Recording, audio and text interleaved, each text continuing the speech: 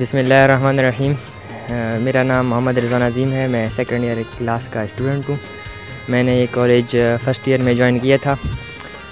یہ college basically ایک ہمیں ایک پلیٹفارم پرووائڈ کرتا ہے تاکہ ہم اپنا ایم اچیو کر سکیں۔ وہ ایم بہت سے ہو سکتے ہیں۔ مطلب بعضوں کو انجینئر بننا ہوتا ہے اور بعضوں کو آرم فورسز میں جانا ہوتا ہے۔ تو یہ کالج ایک بیسٹ پلیٹفارم ہمیں پرووائڈ کرتا ہے جس کی وجہ سے ہمیں پھر آگے بہت سی آسانیاں ہوتی ہیں۔ اور اس کے علاوہ ہاسٹل لائف ہاسٹل لائف ایک مرد کے لیے مطلب کافی ضروری ہوتی ہے۔ تو جو بچے نکلتے نہیں ہیں، تو پھر ان کے آگے یونیورسٹی میں جا کے پھر ہاسٹل میں جانا پڑتا ہے، تو ادھر ان کو مطلب تکلیف وغیرہ ہوتی ہے نا، وہ رہ نہیں سکتے۔ تو ہم ادھر آتے ہیں شروع بچپن سے ہی ہم مطلب ادھر آ کے ہم ہاسٹل لائف میں ہاسٹل میں رہنا شروع کر دیتے ہیں، تو ہم اس کے عادی ہو جاتے ہیں۔